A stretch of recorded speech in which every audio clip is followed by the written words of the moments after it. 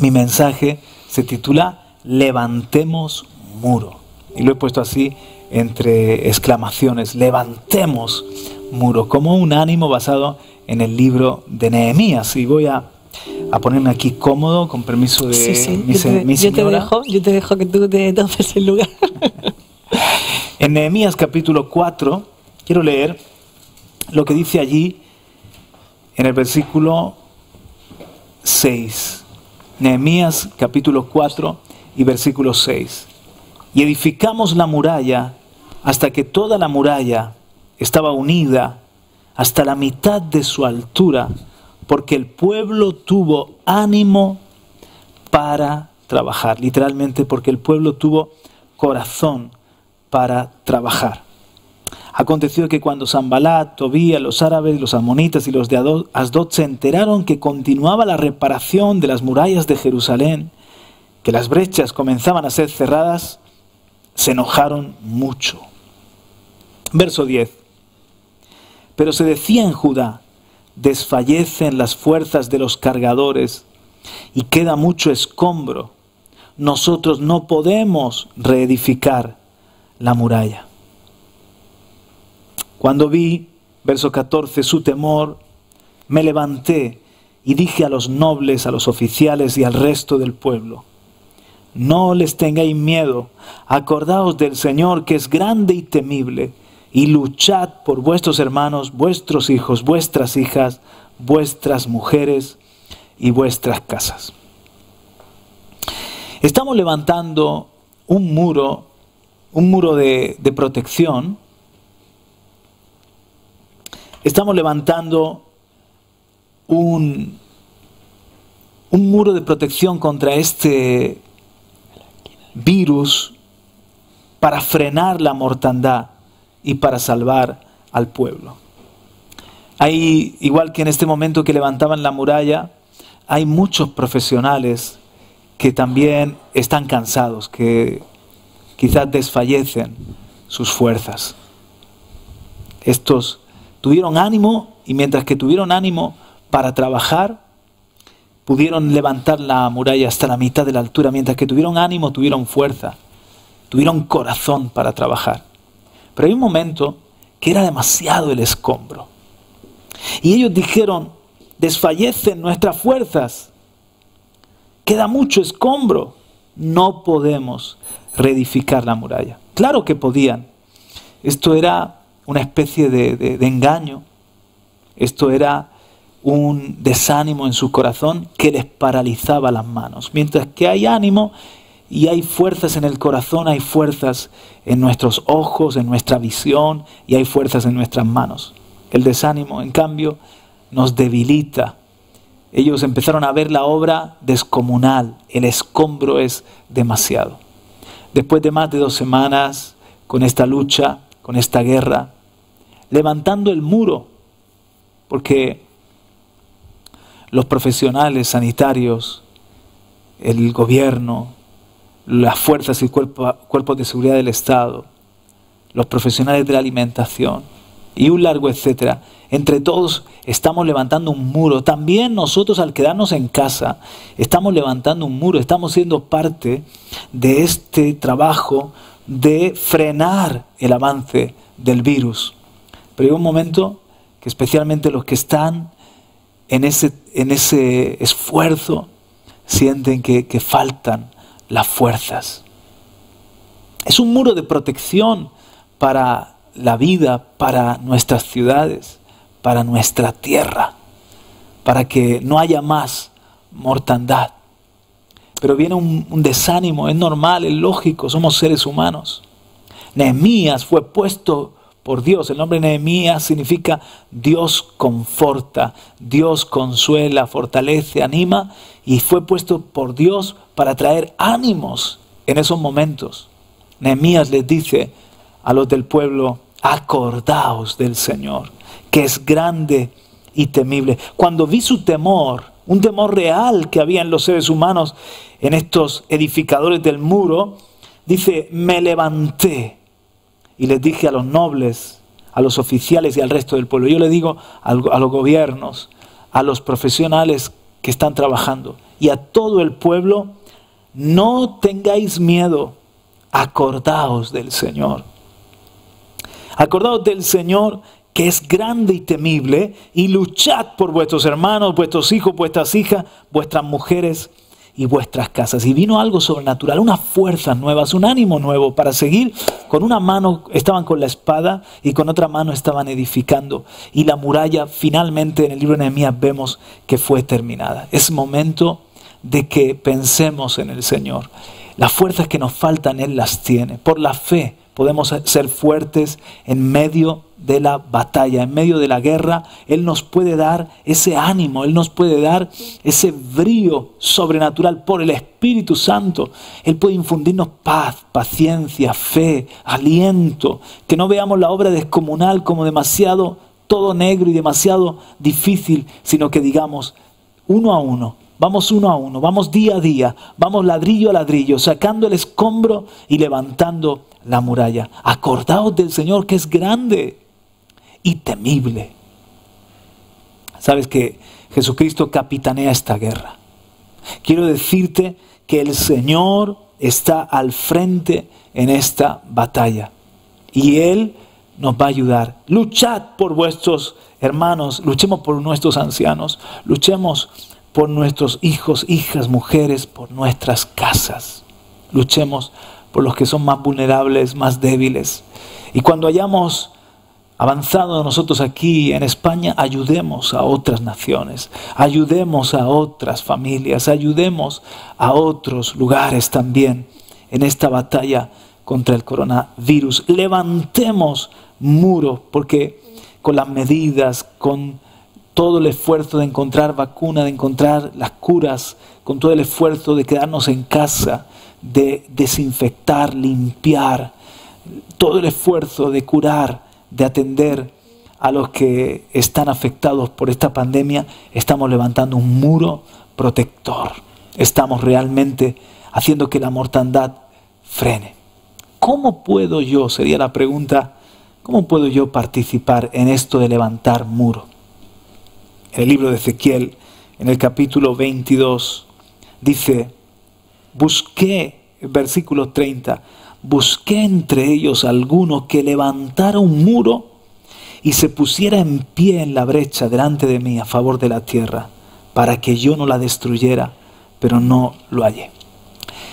Quiero decir no solamente ánimo a los que estáis esforzándoos y trabajando, y, y, como en el libro de Nehemías sentís que falta mucho todavía y que las fuerzas se, se ven ya mermadas, quiero deciros que el Señor tiene la fuerza para ti y el ánimo para ti. Acuérdate del Señor que está contigo y que es grande y temible. Pero para todos los que tenemos a Cristo reinando en el corazón, les digo una cosa, dentro de esta guerra en la que estamos inmersos, hay algo que podemos hacer. Levantar muro de oración y de intercesión. Tengo un mensaje que tiene que ver con el altar, en esto de levantar muro. He estudiado que el altar está conectado con las plagas. A menudo, cuando una plaga era cortada o detenida, tenía que ver con un altar que se levantaba. Y se lo voy a demostrar con varios ejemplos. Por ejemplo, miren, en Éxodo vemos que llegan las plagas a Egipto diferentes plagas, diez plagas. Y hay un momento en el que, muy interesante, Faraón le dice a Moisés y a Aarón, por favor, rogad al Señor. Miren, Éxodo capítulo 8 y versículo 8. En la segunda plaga, que es la plaga de las ranas, entonces Faraón llamó a Moisés y Aarón y dijo, rogad al Señor para que quite las ranas de mí y de mi pueblo, y yo dejaré ir al pueblo para que ofrezca sacrificios al Señor. Y Moisés dijo a Faraón, dígname decirme, dígnate decirme cuándo he de rogar por ti, por tus siervos y por tu pueblo, para que las ranas sean quitadas de ti de tus casas y queden solamente en el río. Y él respondió, mañana. Entonces Moisés dijo, sea conforme a tu palabra, para que sepas que no hay nadie como el Señor nuestro Dios y las ranas se alejarán de ti, de tus casas, de tus siervos y de tu pueblo, solo quedarán en el, en el Nilo. Entonces Moisés y Aarón salieron de la presencia de Faraón y Moisés clamó al Señor acerca de las ranas que él había puesto sobre Faraón y el Señor hizo conforme a la palabra de Moisés y murieron las ranas de las casas, de los patios y de los campos. Esto fue en una de las plagas, la segunda. En otra ocasión, un poco más adelante, en el capítulo 9 y versículo 28, pasa lo mismo. Estamos ahora en la séptima plaga, el granizo, y Faraón envió a llamar, capítulo 9, verso 27, Faraón envió a llamar a Moisés y a Aarón y les dijo, esta vez he pecado, el Señor es, es el justo y yo y mi pueblo somos los impíos. Rogad al Señor porque ha habido ya suficientes truenos y granizo de parte de Dios, y os dejaré ir y no os quedaréis más aquí. Estoy en el versículo 29. Y Moisés le dijo, tan pronto como yo salga de la ciudad, extenderé mis manos al Señor, los truenos cesarán y no habrá más granizo para que sepas que la tierra es del Señor. Y así fue. Versículo 33. Y salió Moisés de la ciudad de la presencia de Faraón y extendió sus manos al Señor y los truenos y el granizo cesaron y no cayó más lluvia sobre la tierra. Pero otra vez Faraón endureció su corazón. Entonces, vemos que en esas plagas, cuando estaban en un momento de, extrema necesidad, el mismo Faraón le pide a Moisés y Aarón, interceder, rogad al Señor. ¿Y qué es rogar al Señor? Es levantar un altar. ¿Qué hizo Moisés? Clamó a Dios y levantó sus manos a Dios y le pidió y el Señor detuvo las plagas. ¿Ves? Detrás de la el fin de la plaga hay un altar que se levanta para Dios. Otro ejemplo, cuando la rebelión de Coré hubo una mortandad porque el pueblo murmuró. Entonces Aarón tomó su incensario y se puso entre los vivos y los muertos y la plaga se detuvo. Si lo quieres constatar, está en número 16 del 41 al 50. Ellos clamaron al Señor, Moisés y Aarón, y especialmente Aarón con su incensario que representa la oración, se puso allí entre los que estaban muertos ya por la plaga y los que estaban aún vivos y se detuvo la plaga.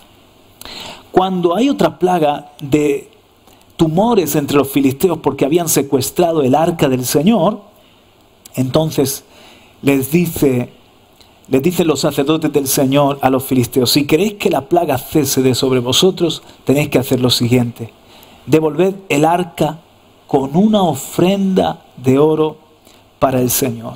Otra vez ahí vemos que se levantó un altar y la plaga cesó entre los filisteos. Ya van tres ejemplos. Voy a por el cuarto. Cuando David hizo un censo y el Señor fue provocado a ira porque en ese, en ese censo no se pasó probablemente la ofrenda por cada vida y sucedió que murió mucha gente, hubo una plaga entre el pueblo.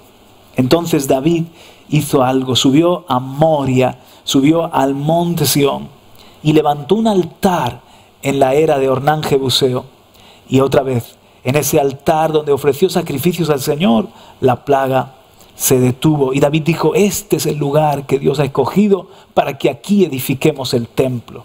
Llevan cuatro ejemplos. Voy por el quinto. El altar de Elías y el fin de la sequía. La sequía era también un juicio por la maldad. Se habían cerrado los cielos porque el pueblo estaba lleno de idolatría, estaba claudicando entre Dios y Baal y se habían multiplicado las abominaciones en días de Elías. Eh, ya saben que reinaba Acab y Jezabel y, había una injusticia muy grande, violencia. Jezabel era una mujer que servía al reino de las tinieblas y Acab también. Bueno, pues se cerró el cielo tres años y medio Elías levantó un altar en el monte Carmelo, donde ofreció un sacrificio en la hora del sacrificio. Allí reparó el altar, ofreció un sacrificio a Dios, bajó fuego del cielo y luego subió a orar. Y allí el cielo se abrió, acabó la sequía y vino una gran lluvia. Ya van cuatro ejemplos, no, cinco con este, dos más. La plaga de langostas en el libro de Joel En el Joel, Joel capítulo 1 vemos que hay una gran plaga que asola la tierra. Y el Señor en el capítulo 2 dice que la única forma de que esta plaga se detenga es que se pongan en ayuno, en oración, en vigilia, que salgan los novios de la alcoba, que, que lloren entre el pórtico y el altar los sacerdotes, que proclamen, toquen trompeta y proclamen asamblea solemne y se humillen en quebranto y pidan perdón al Señor. Y entonces Él se volvería y terminaría la plaga de las langostas. Eso está en Joel capítulo 1 y capítulo 2. Pero la mayor, la mayor plaga que asola la humanidad es la del pecado. Y un altar se levantó en la cruz del Calvario. Allí se ofreció el sacrificio perfecto, el del Cordero de Dios, que quita los pecados del mundo. Ante esta pandemia que se llama el pecado, la rebelión contra Dios, y la tragedia de no solamente la muerte física, sino la muerte eterna, la segunda muerte. ¿Cómo Dios solucionó? Levantando un altar y allí Cristo se ofreció como expiación por nuestros pecados. Con ese sacrificio se detuvo y hay paz y hay perdón, hay una vacuna contra el pecado, que es la sangre de Cristo Jesús. Hoy tú puedes ser salvo y si te das cuenta, la ruina familiar, la desgracia de la esclavitud, del aborto, de la deshonra, de los fratricidios, de, todo lo que es corrupción, mentira, soborno, cohecho, todo lo que es la maldad que hace la vida en la tierra tan dura, ¿de dónde viene? Es de la maldad del hombre, del pecado, de la iniquidad del corazón del hombre. ¿Y cuál es la cura? Es el sacrificio de Cristo. Cuando tú crees en Jesús, no solo te perdona tus pecados, sino que te liberta de la condenación y del poder del pecado para que ya no le sirva más al, al reino de las tinieblas, a la injusticia y a la maldad, sino que le sirvas al Dios vivo. En santidad, tú puedes ser ahora un siervo de la justicia. Entonces, siempre que hay una plaga, aparece un altar ¿Te das cuenta? Les he puesto el ejemplo de Egipto, del desierto, la rebelión de Coré, entre los filisteos cuando secuestran el arca, el censo de David, el fin de la sequía en días de Elías, la plaga de langostas de Joel y sobre todo el altar del Calvario. Pues bien, les hago un llamado a todos los temerosos de Dios a que levantemos un altar en este tiempo, nuestra intercesión, levantemos manos al cielo, nuestra adoración, que nos pongamos en la brecha. Busqué entre ellos alguno que levantara un muro. Esto no lo pueden hacer los que no tienen fe. Los que tenemos el regalo de la fe y somos hijos de Dios, podemos levantar un muro de intercesión y de pedirle al Señor que sea vencida esta plaga y haya un muro de protección sobre nuestros ancianos, sobre nuestros enfermos, sobre nuestras casas y hogares. Es nuestra responsabilidad y por eso, en Segunda de Crónicas, capítulo 6, quiero terminar con este texto tan conocido, pero que tiene que ver con ese lugar que fue de altar, Moria, y vino fuego del cielo. Y David dijo, aquí se tiene que edificar el templo, y se edificó en días de Salomón. Pues bien, en Segunda de Crónicas capítulo 6, versículo 28 y 29 dice, si hay hambre en la tierra, si hay pestilencia, si hay tizón o añublo, langosta o saltamontes, si sus enemigos los sitian en la tierra de sus ciudades, cualquier plaga o cualquier enfermedad que haya, toda oración o toda súplica que sea hecha por cualquier hombre o por todo tu pueblo Israel, conociendo cada cual su aflicción y su dolor, y extendiendo sus manos hacia esta casa. Escucha tú desde los cielos el lugar de tu morada y perdona y da a cada uno conforme a todos sus caminos, ya que conoces su corazón. Versículo 40. Ahora, oh Dios mío, te ruego que tus ojos estén abiertos y tus oídos atentos a la oración elevada en este lugar. Capítulo 7, versículo 11. Así acabó Salomón la casa del Señor y el palacio del rey, y llevó a cabo todo lo que se había propuesto hacer en la casa del Señor y en su palacio.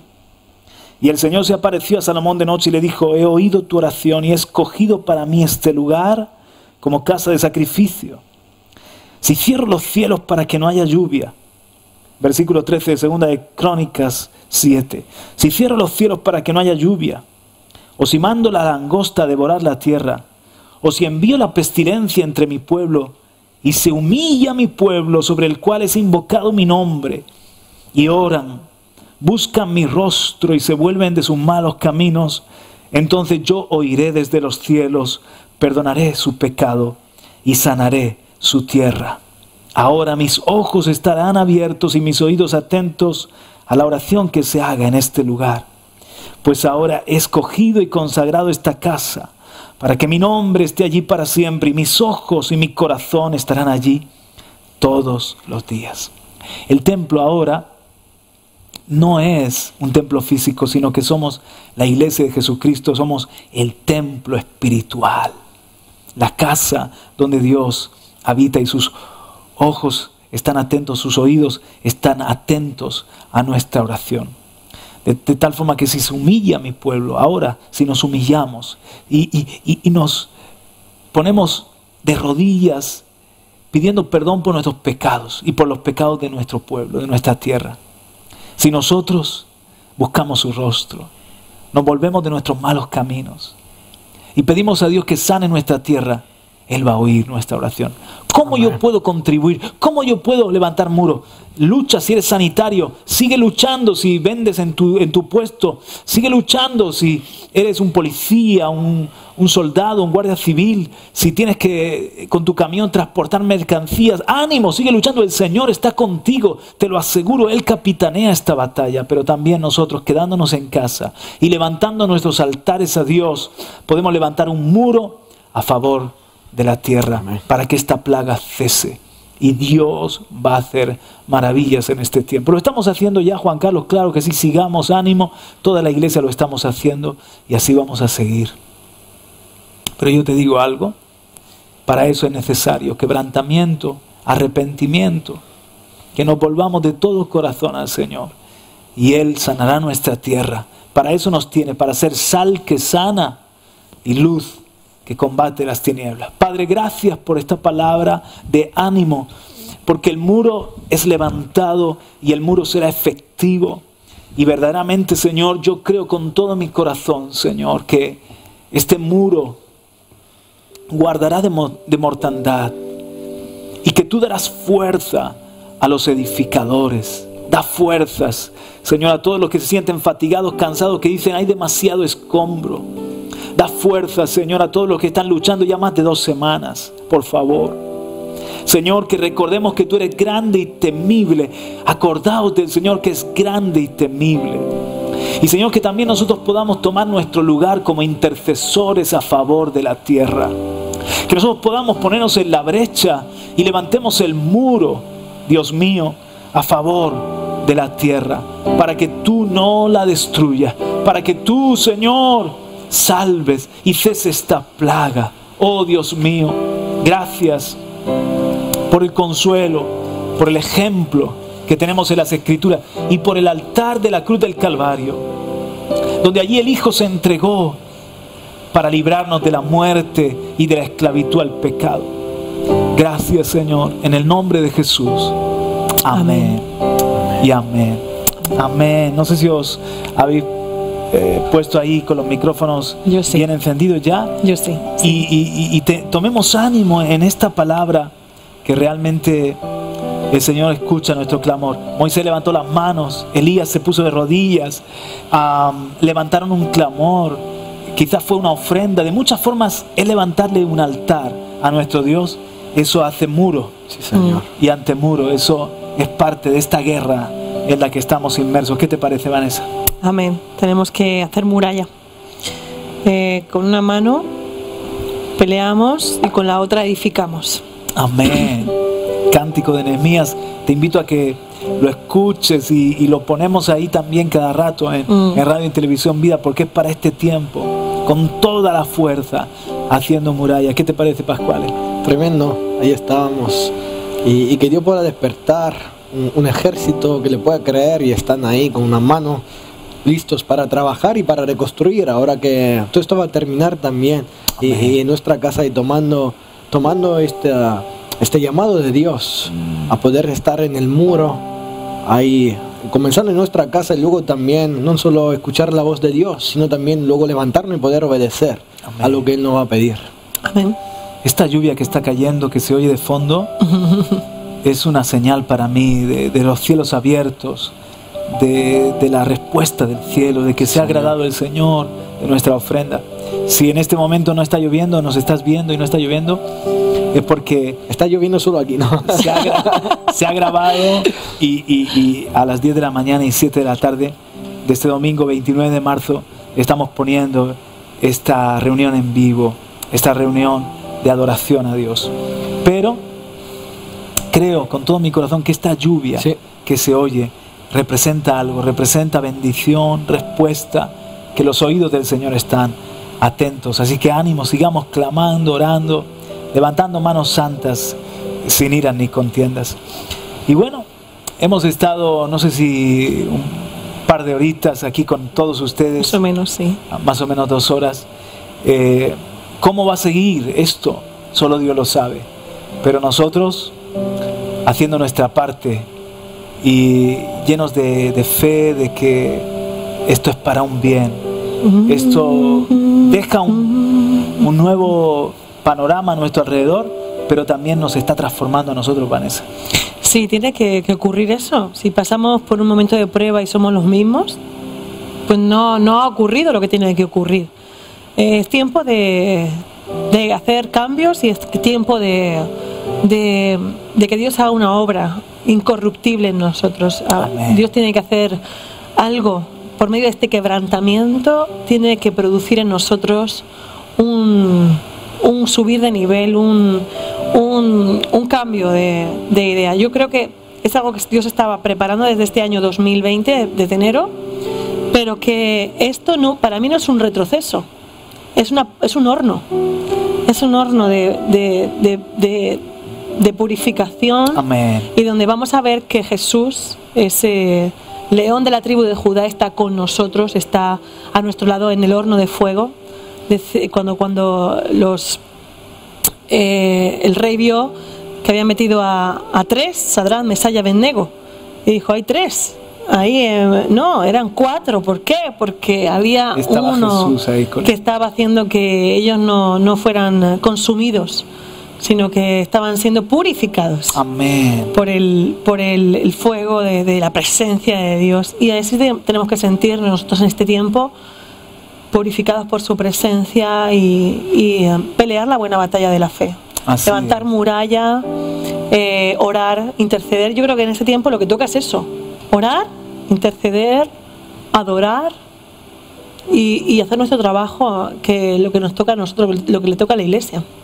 Y muchas veces no nos gusta entrar, estar en el fuego, pero ya prometió que aún ahí Él va a estar con nosotros. Amén. Su presencia aún en el fuego va a estar con Amén. nosotros. Aleluya. En, est- en esta semana que estamos haciendo programas, yo no he dado mucha palabra de ánimo, pero en mi tiempo de devocional con Dios había algo en mi corazón y yo decía, Señor, no estoy tranquilo, ¿será que estoy yo dudando? Estoy dando palabra de ánimo y, y a escuchar este mensaje ya con- ha contestado, ¿no? Dijo, Nehemías lloró.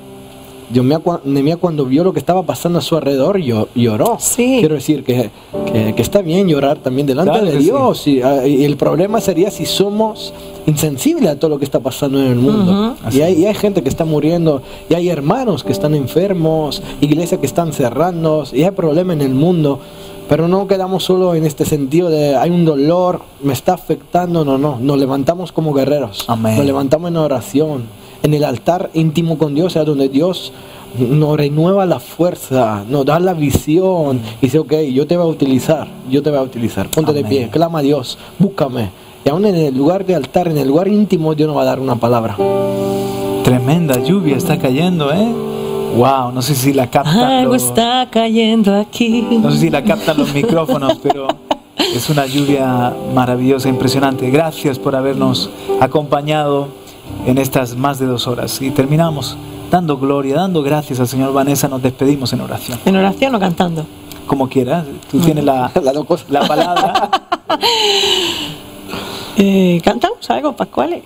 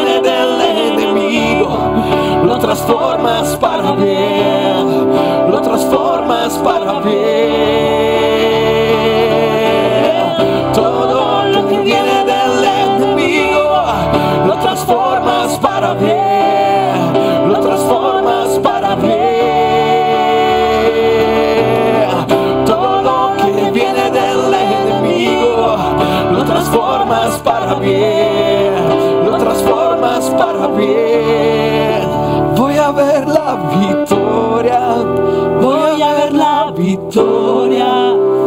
La batalla es tuya, Señor.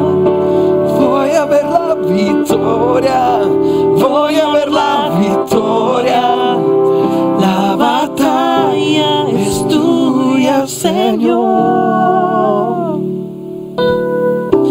Oh sí, Señor, gracias te damos, Padre, porque vamos a ver la victoria.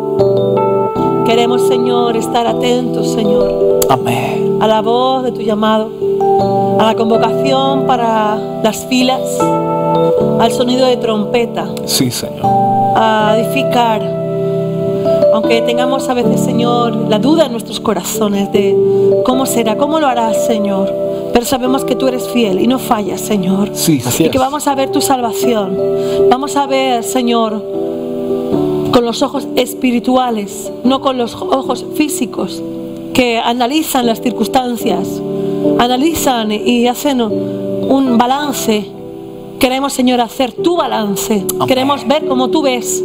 Queremos ver, Señor, más allá de la realidad física, de los números físicos. Queremos ver con tus ojos, Señor. Sí, Señor. No negamos la realidad que es dura, no negamos, Señor, que esto es difícil, Padre, pero sabemos que vamos a ver la victoria. Aleluya. Que vamos a ver la victoria, que vas a sanar a nuestros seres queridos, aquellos que se hayan podido contagiar, aquellos que estén en un momento de, de debilidad física, Señor. Oh, sí. Declaramos sanidad. Amén. Di una palabra y tu siervo, tu sierva será sanado. Amén. No sabemos qué va a pasar, Padre, pero sí sabemos que tú tienes el poder. Que en tu boca está la palabra creadora. Que en tu boca está la palabra sanadora. Sí. Que tú eres el árbol de la vida. Y que de ti to- podemos tomar sanidad para nuestros cuerpos, sanidad para nuestras mentes, sanidad para nuestros corazones. Economía, Señor, para nuestras familias, para nuestras casas. Dios mío, provéete. Sustenta a tu pueblo, que toda plaga, así como llegó la plaga de la muerte a todo Egipto, Señor, no toque la casa de tus hijos. Amén. Ponemos, Señor, sobre nuestros dinteles la sangre de Jesucristo, la sangre del Cordero sin mancha, esa sangre que cubre y que rechaza toda plaga, toda muerte, se va de nuestros hogares, toda enfermedad, la llevamos cautiva a la cruz del Calvario Sí. y allí la crucificamos juntamente contigo porque tú fuiste crucificado una vez y para siempre. Amén. Y hay sanidad una vez y para siempre, hay Aleluya. provisión y tomamos de esa provisión, Sí, Señor, Señor. para salud de los nuestros, para salud de nuestras casas, en el nombre de Jesús. Oh, nos comemos todo el cordero. Amén. No queremos dejar nada, nos comemos todo el cordero. Oh, sí. Oh, Padre, aunque habían hierbas amargas, pero era un- era un momento duro, Señor, las que se cocinaban con el cordero. Son momentos difíciles, Padre, pero sabemos que vamos a ver tu gloria. Amén. Por la fe, como el pueblo de Israel tomó el cordero, en paz, Señor, y en silencio. Queremos tomar el cordero en, este, en esta hora, la sanidad del cordero, la hora del cordero, Oh, y nos lo queremos comer entero. Ahí es donde vamos a ver todos los beneficios de tu sacrificio en la cruz. Cada cosa la Señor. queremos para que no quede nada, Señor, que no tomemos que sea lo que viene de ti, Señor. Y declaramos que la plaga se para en la puerta de nuestras casas. Así como dejamos el calzado fuera en estos días, así se para la plaga fuera de nuestros hogares, Señor. Amén. Y que tu pueblo sea reconocido, porque en Gosén hay vida, porque en Gosén hay vida, porque en Gosén hay provisión, porque en Gosén sigue habiendo alegría y no llanto y no grito de dolor. Padre bendito Dios, cubre a tu pueblo, cubre a tu pueblo, cubre a tu sí, pueblo. Señor. Nos cubrimos con tu sangre preciosa y decidimos sanidad, sanidad y salvación, sanidad y salvación. Cordero en la casa del justo, Cordero en la casa de tus hijos, Cordero en la casa de Israel. En el nombre de. Jesús. Amén. Amén. amén. Amén. Amén. Amén. Ha sido un honor y una bendición para nosotros Sí, el poder compartir este tiempo. Que el Señor te bendiga, que sigas en la programación de radio y televisión Vida, que sigas conectado con el Señor. Gracias, siervo Pascuale. No, a vosotros un honor estar aquí con vosotros y con todos aquellos que nos han seguido. Amén. Y gracias, Vanessa. A vosotros también siempre. Esperamos que pronto podamos regresar a la programación presencial, eh, estar sentados en los micrófonos o frente a las cámaras de radio y televisión vida. Mientras tanto, lo hacemos como hasta ahora, desde casa, a la distancia, pero muy cerca. Gracias a- al Señor y a estos medios de comunicación. Shalom, Bendiciones. bendiciones. Chao. Bendiciones. Bendiciones.